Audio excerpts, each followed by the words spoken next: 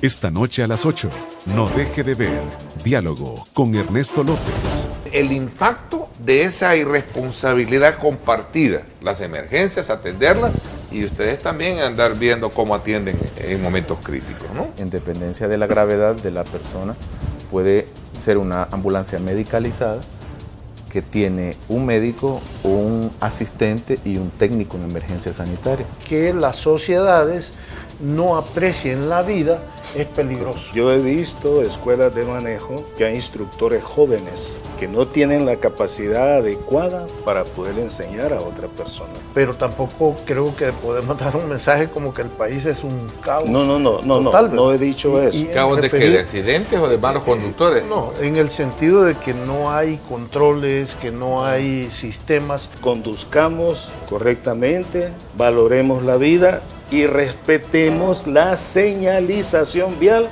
en general. No se pierda Diálogo con Ernesto López, solo por Canal 19. Ahora es más noticias.